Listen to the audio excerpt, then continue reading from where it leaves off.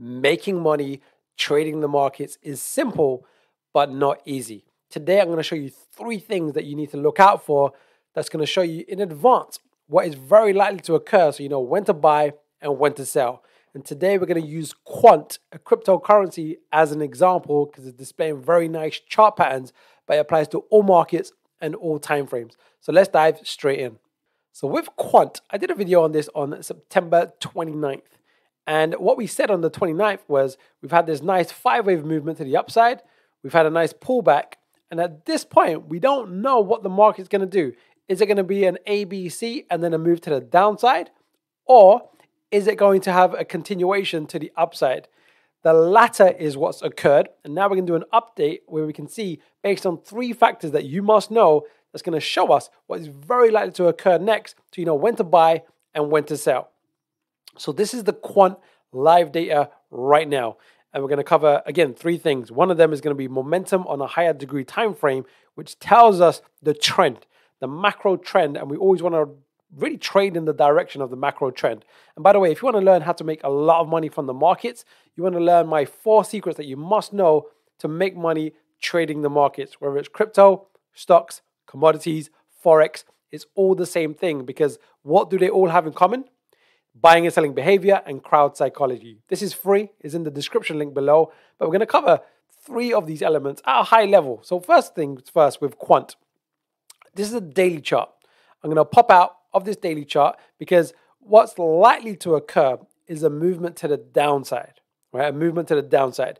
And the three factors that are pointing towards this, right? Just neutral, independent in the sense of no bias over here, whether you love quant or you don't, whether you're, you're holding it or you're not, whether you're trading long or short. We're just going to look at the objective information that we can read and then make a decision on. So I'm going to pop out of this chart and I'm going to go into a weekly chart, which is I hold in the top left hand corner. So this is a weekly chart of quant.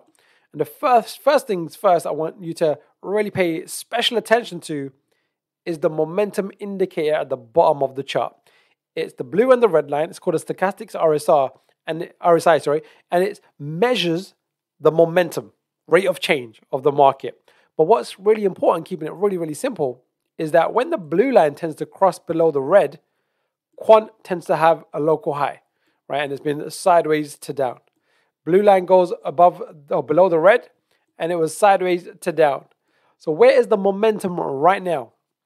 Well, it's in this range over here so it tells us that the weekly momentum or the weekly top is at or near completion. So the upside should be limited. And then over the next few weeks, we're probably going to anticipate sideways to down.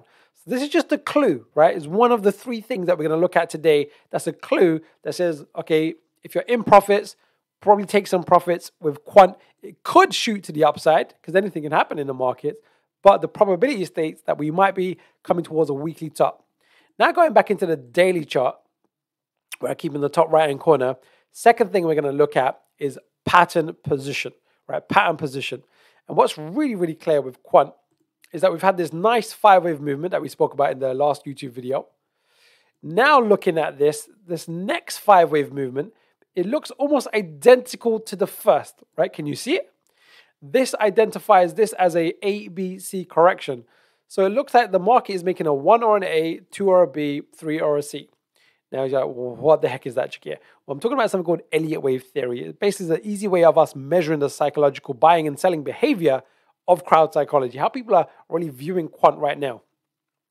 And wave A's, so wave A's and wave C's, they tend to be identical. Like not not like 100%, but close. They almost mirror each other.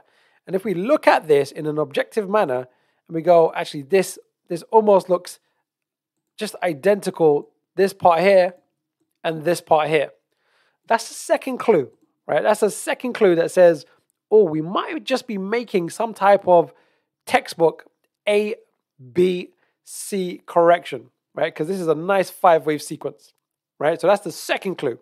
The third clue, and by the way, with these clues, I call them secrets, right? I go into a lot of depth in layman's terms with the four secrets that you must know to make money trading the markets in a consistent, objective, mechanical way, we are not falling for FOMO, fear of missing out, uh, FUD, fear, uncertainty, and doubt, where you can just do it in a mechanical manner. It's free, is in the description link below. I'm telling you, it will take your trading to the next level, which means making money to the next level.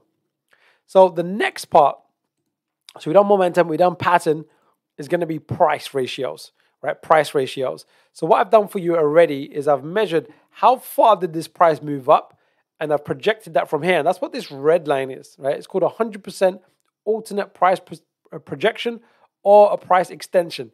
And this is commonly the typical wave C, right?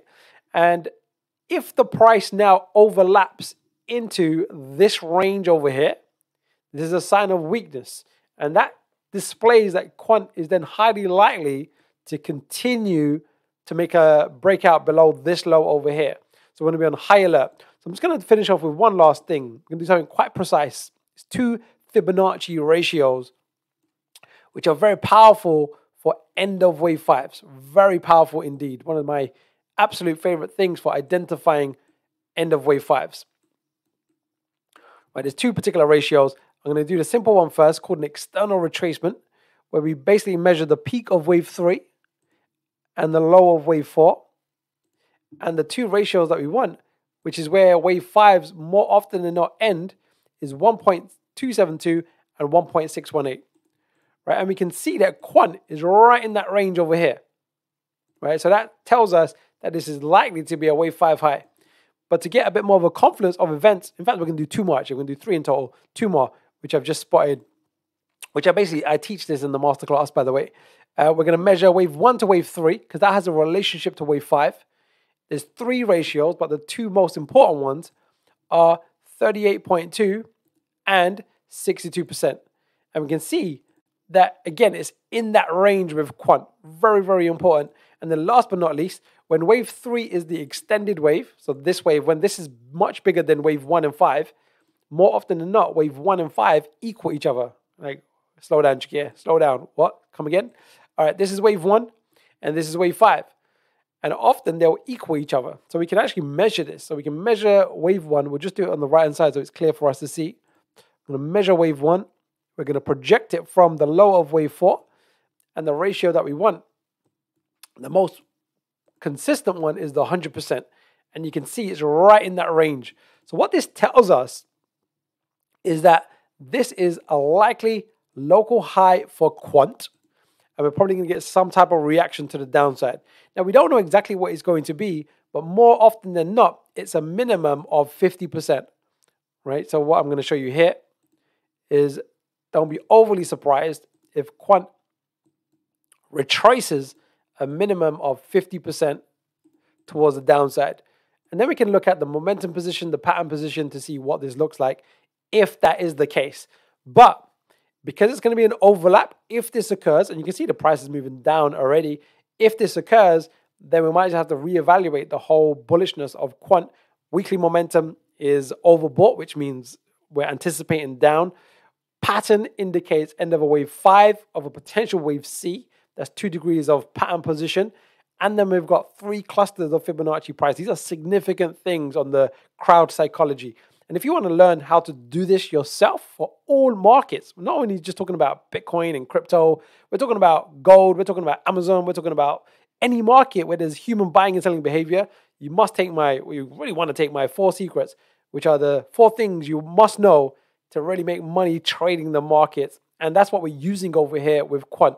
So, what do you think? Do you think Quant's going to continue up? Do you think it's going to continue down? Let me know in the comments. Found value of today? Give me a thumbs up. I really appreciate it. It tells YouTube that you're liking my content. And then uh, YouTube kind of goes, right, we're going to show this to more people. Feel free to share this as well. Let's finish with a quote. It's from my, my book. We're going to go with chapter two today. I always start the chapters with a quote. It's from Warren Buffett. He says, rule number one, never lose money.